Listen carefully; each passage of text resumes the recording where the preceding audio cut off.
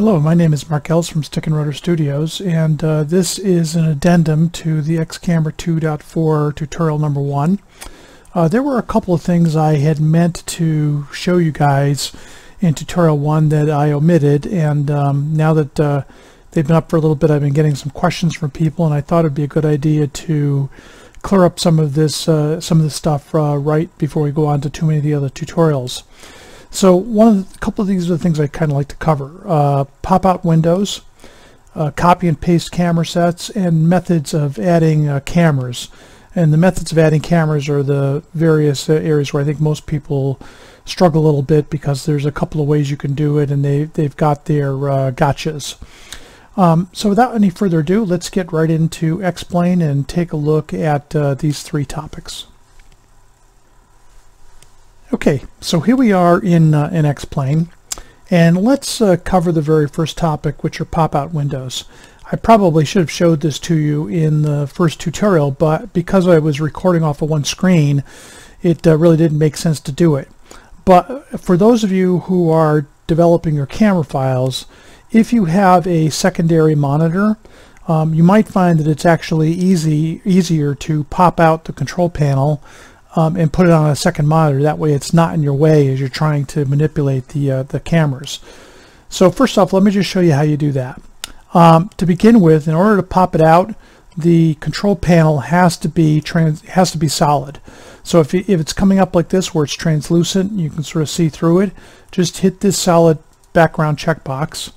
And once it's a solid background checkbox, then you could use this little overlapping square uh, icon up here in the upper right hand corner. If you just click that, what it will do is it'll pop out the control panel to a top level operating system window.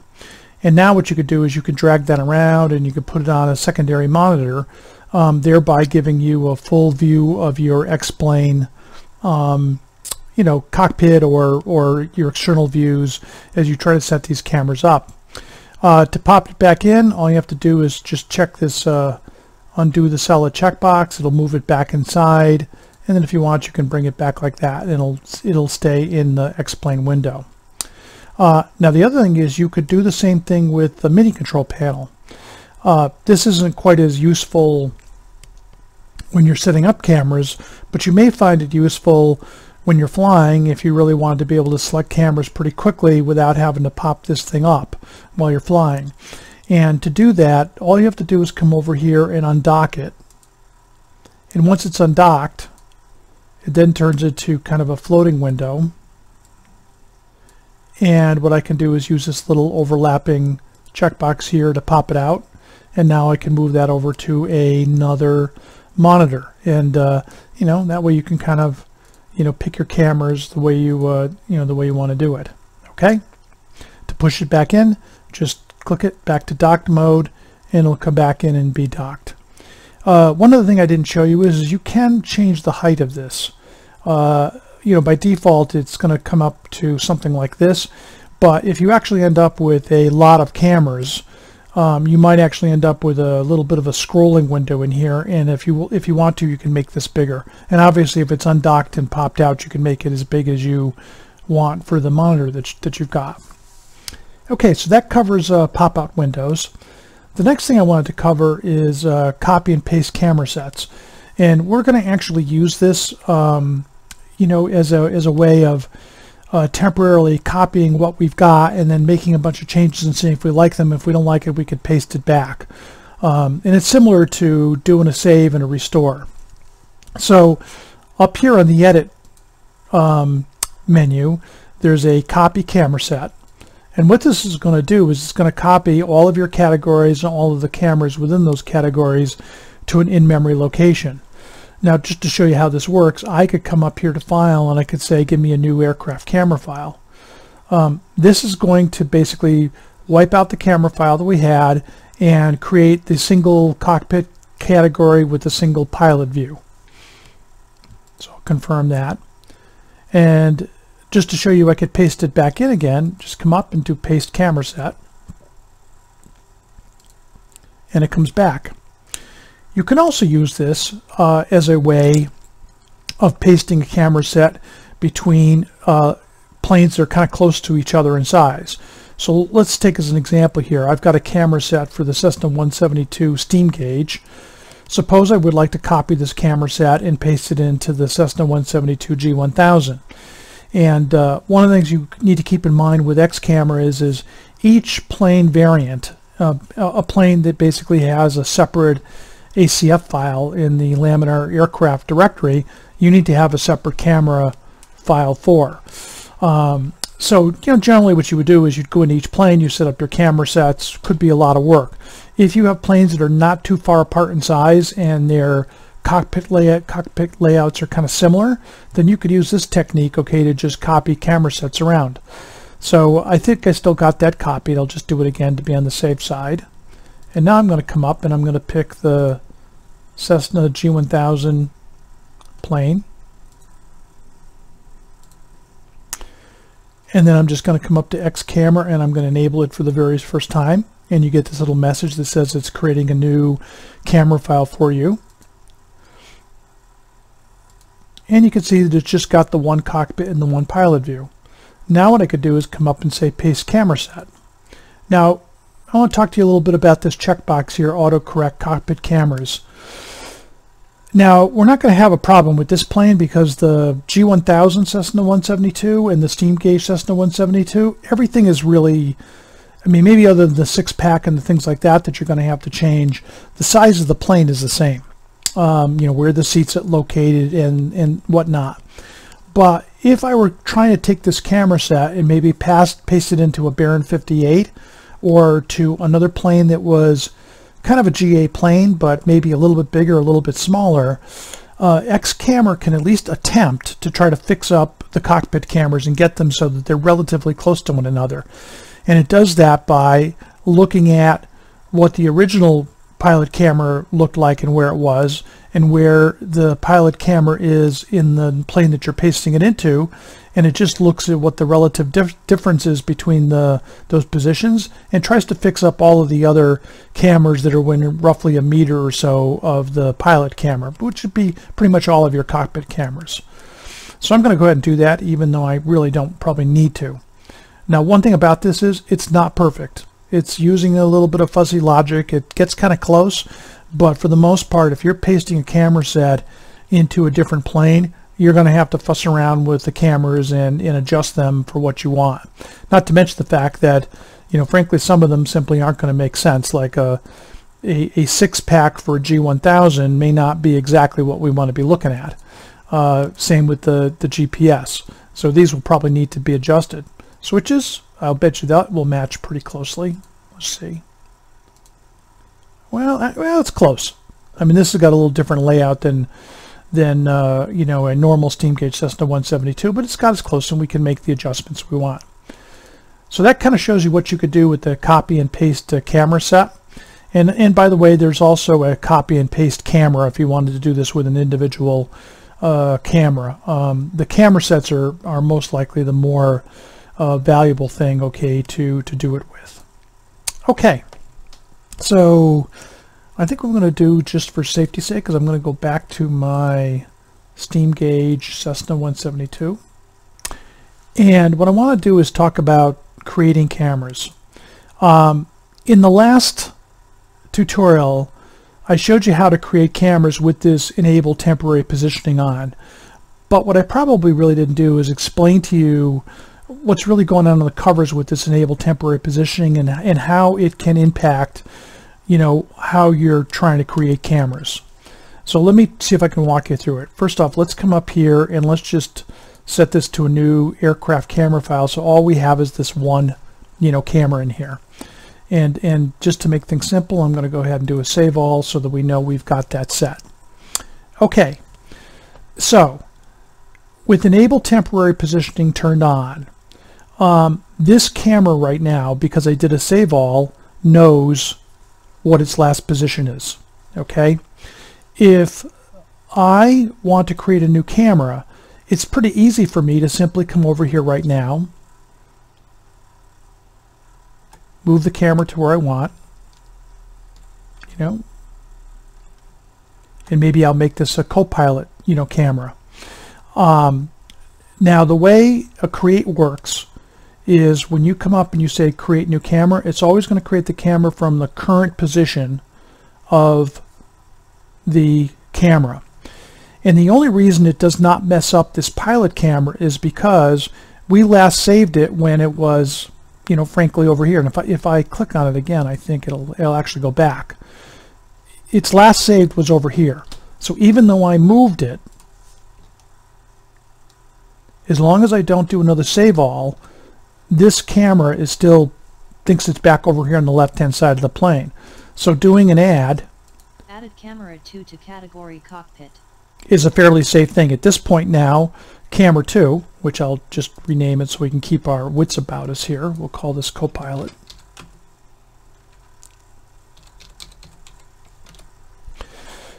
This guy's now saved to this position, right? Um, and I can go back and forth between the two of them. Now all of that worked okay because of the fact that I had saved um, the cameras okay. Once I get them in the position I want them in, using this technique I have to do a save all. Otherwise it can get confused. And let me sort of give you an example of that. Let me delete this guy. Let me go back over here. And what I'm going to do is I'm going to move this.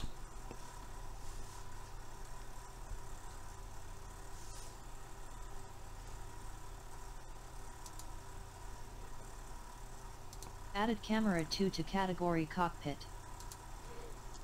I'm going to rename it.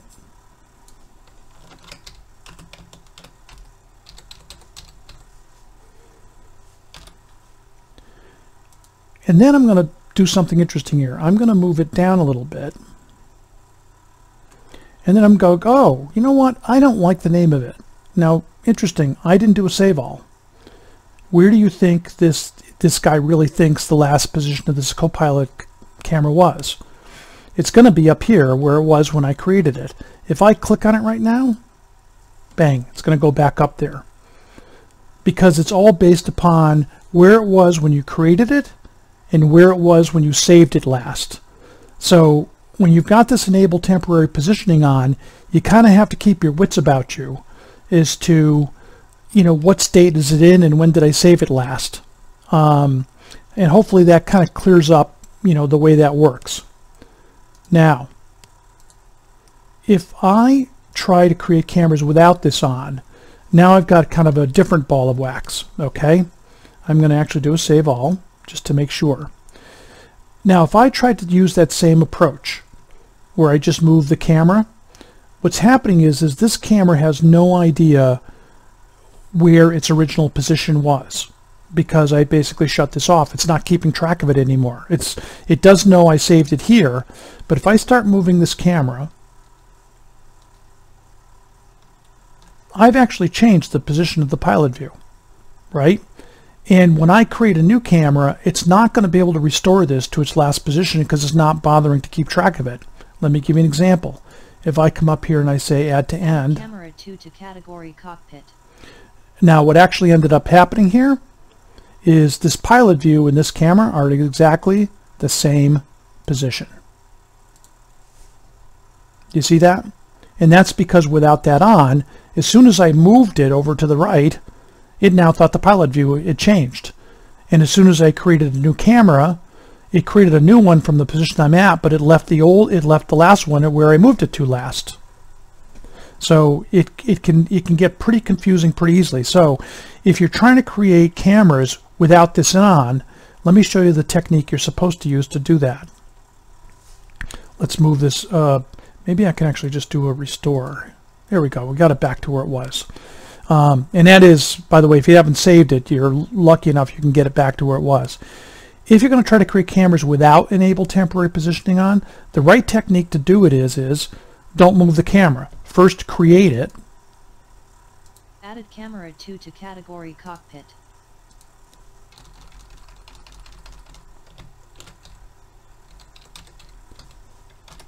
Then move it.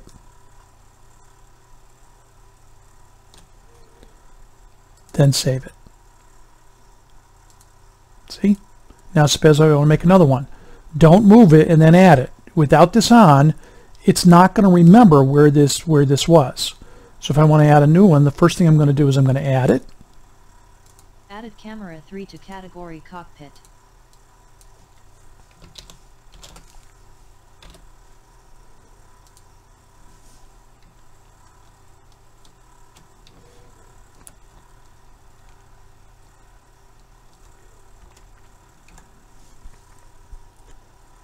Then save it.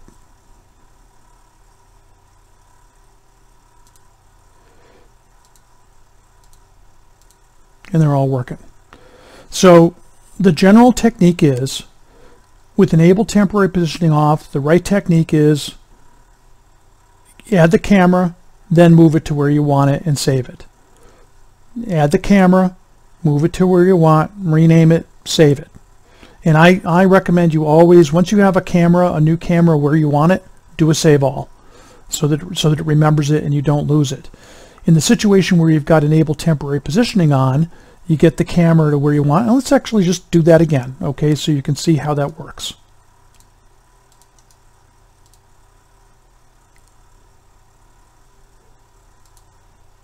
Do a save all just to get us in a good spot. So with this, I did a save all. It knows where the pilot camera is. In this case, it's safe to basically go over and move it to where I want it. Get it positioned to where you want it. Add it. Camera 2 to category cockpit. Immediately change the name. Save it. As soon as I save it, this now knows where the co-pilot camera is, particularly if I moved it, or, you know, moved it around again. Um, you know, let's do another one. Okay, I can easily move it to another position. Let's move it over here. We'll go down.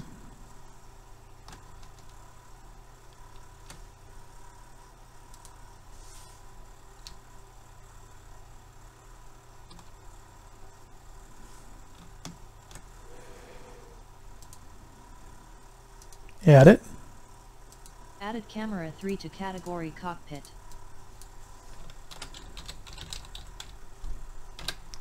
And then save all.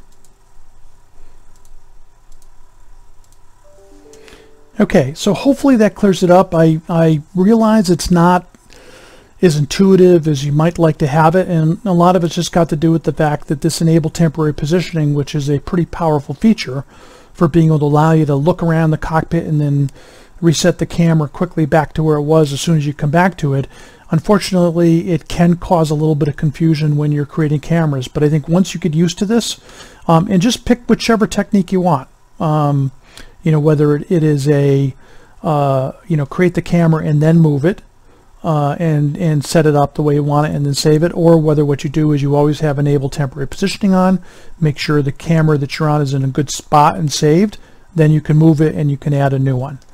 So hopefully that answers a, a, few of the questions and clears up a little bit of the, um, the confusion that could be caused by this. Okay, great. And uh, now we can move on to uh, the next uh, tutorial.